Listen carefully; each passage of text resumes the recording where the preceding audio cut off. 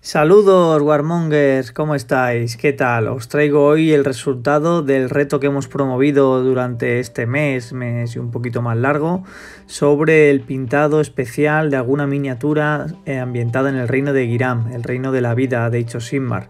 Bueno, temática selvática, Calibán, de 40.000, eh, algún mundo así muy de jungla, muy de bosque oscuro, con mucho helecho. Bueno, la ambientación y la peana es lo que importa. Y aquí tenéis las participaciones de nuestros amigos Warmongers. Ahora os enseño.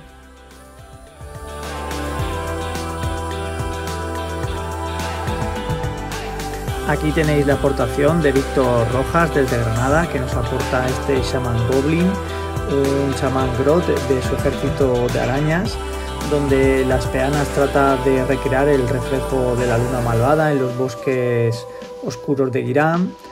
Y el siguiente que nos ha aportado es este Scattleboss en araña gigante, o sea, un héroe goblin salvaje en araña gigante, que es el que guía a sus tropas arácnidas en busca del gran huevo del dios araña. Muy ambientado también en el lore, en el trasfondo de los eh, goblins salvajes en Hechos sin mar.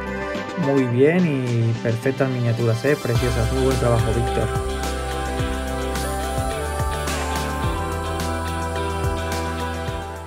El siguiente es nuestro amigo Iván de Yorloth Studio, que nos aporta la famosa Reina de las Flores un segundo keeper para su ejército de Slanesh, eh, que este ha llegado fabulando al lore como que quiere llegar a asesinar al líder de su ejército, que es el otro keeper, el famoso rey sin nombre.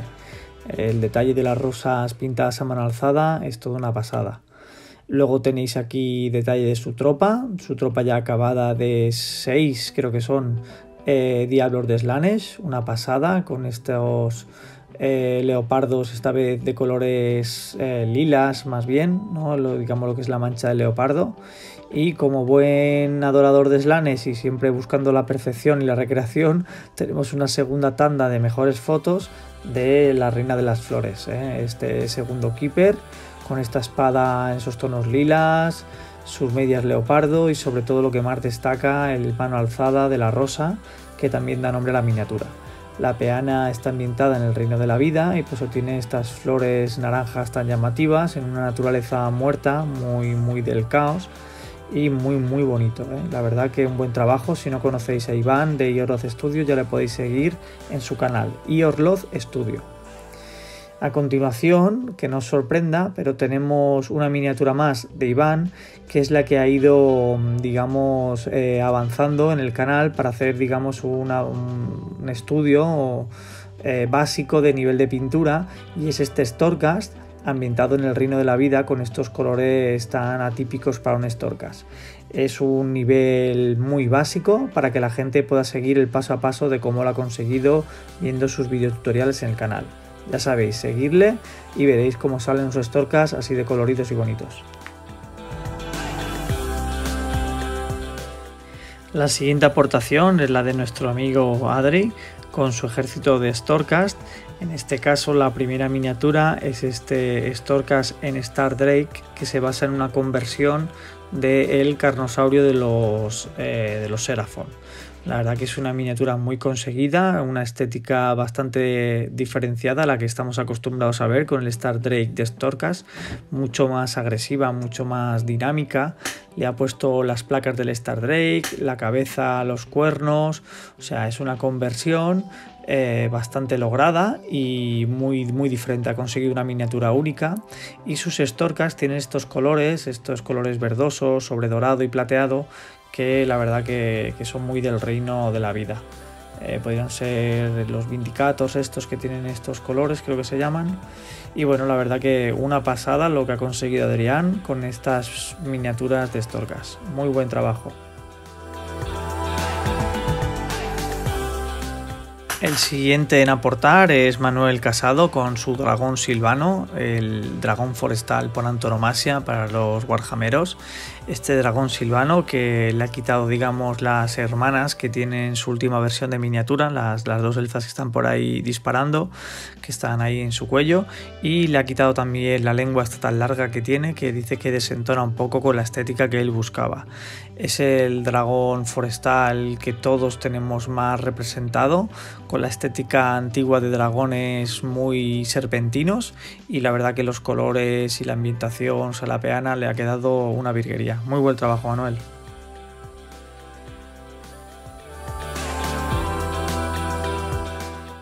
No, no es un camaleón y tampoco es Frodo con el anillo.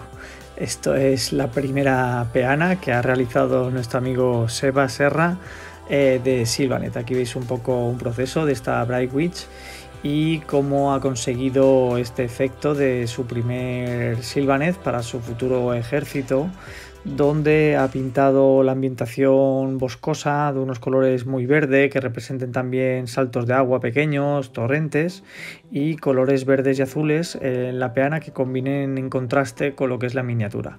Luego como buen silvanet la, ha camuflado en diferentes eh, representaciones florales y la verdad que, que mimetiza muy bien, o sea que ha conseguido lo buscado. Muy buen trabajo Sebas, muy bonita miniatura y creo que te has entretenido bien, has disfrutado creo con el proceso. Así me gusta. Buen trabajo, Sebas.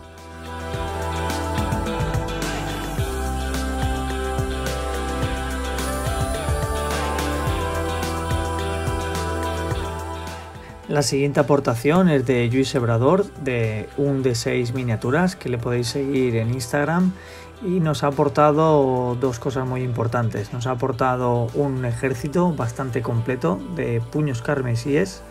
Eh, me ha tenido que indicar un poco lo que es el lore de este ejército para yo enterarme bien y poderlo comentar. Eh, es un capítulo sucesor de los puños imperiales, los, los amarillos que yo conocía.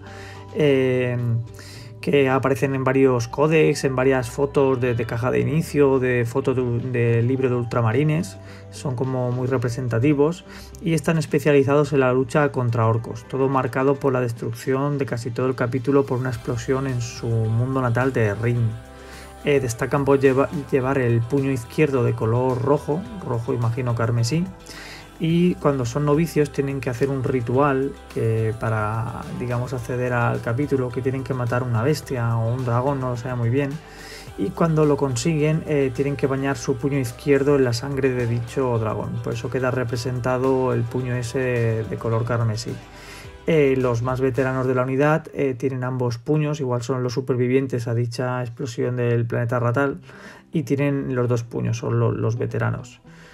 Y ¿Qué más comentar? Ah, sí, eh, el logo es de un de seis miniaturas, que es su Instagram, es un Instagram que comparte con un amigo suyo y van subiendo todos sus trabajos de pintura de miniaturas eh, y demás en Instagram y demás redes sociales. Si les queréis seguir, ponéis un de seis miniaturas y os aparecerá. Bueno, las peanas están ambientadas en algún tipo de planeta bastante tropical por la estética y bueno, entra en el reto, es digamos Girán, es un poco lo que buscamos. Lo siguiente que nos ha aportado son estos trolls de río fantásticos que, que están también muy bien tanto pintados como la peana. Creo que esa peana de una naturaleza un poco más otoñal, un poco más muerta, destaca más el troll que hay encima. Y le ha quedado un buen trabajo, muy bonitos. La verdad que estas miniaturas siempre me han gustado, creo que no están nada desactualizadas para lo que es el contexto actual y ha conseguido un muy buen trabajo. Muy bien, Luis.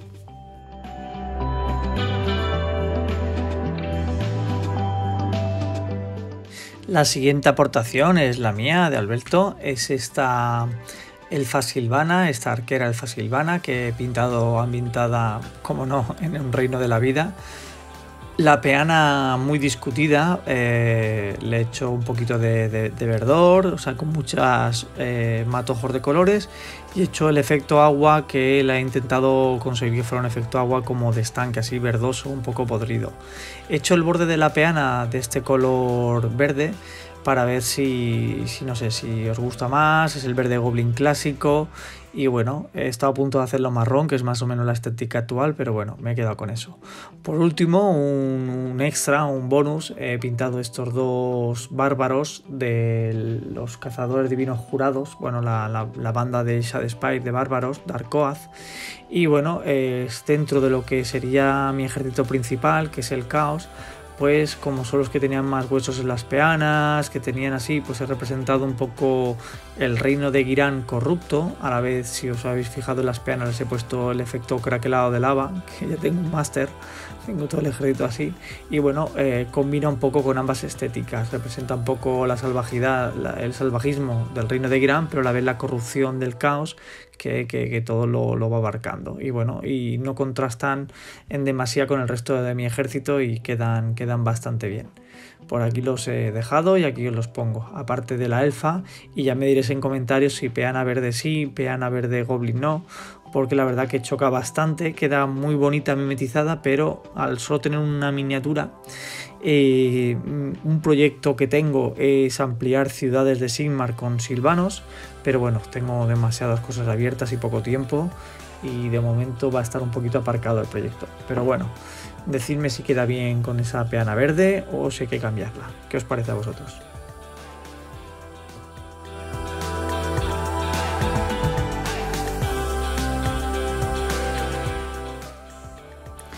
Por último, ya después de, tantas fotos de los bárbaros, porque la verdad que me ha gustado mucho cómo han quedado, eso que no me he matado a hacerle, digamos, las facciones de la cara, los ojos, ya directamente desisto de hacer los ojos, los ensombrezco con diferentes tintas y si quedan bien definidos a simple vista dónde iría el ojo, ya no me mato a pintarlos porque que va, me quedan bastante mal y para uno que me queda bien de cada 100 ojos, pues, pues los dejo así oscurecidos y consigo el efecto que quedaba, que, que me gustaba.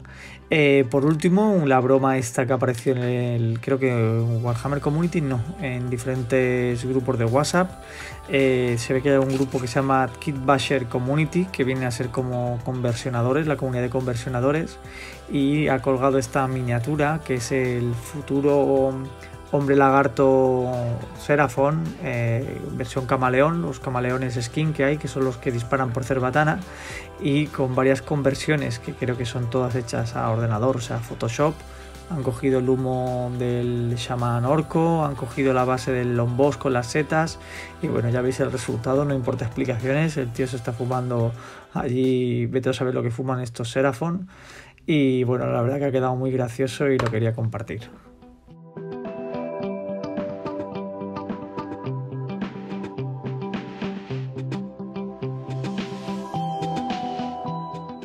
Por último, anunciar que ya para el siguiente reto de pintura, digamos, temática, lo ambientaremos en el reino de Ish, el reino de la luz. Eh, está todo muy enfocado a la salida de los Luminez, de los nuevos altos elfos para hechos Sigmar. Es una tierra como muy frondosa, como muy...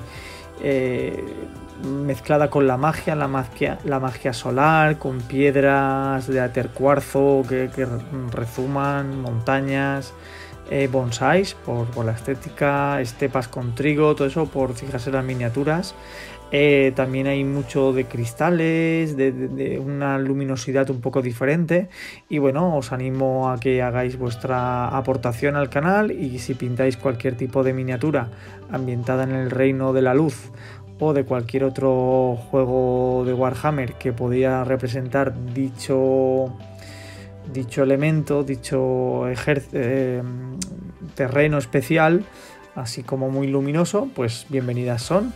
Eh, las miniaturas, daremos de plazo un mes, mes y un poco, y bueno, ir enviándolas al canal, al correo warmonger.salseo.gmail.com y poco a poco las iremos colocando para hacer el vídeo.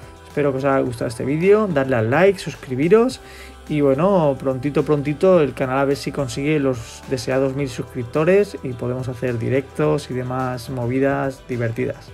Un saludo y hasta el siguiente vídeo. Adiós.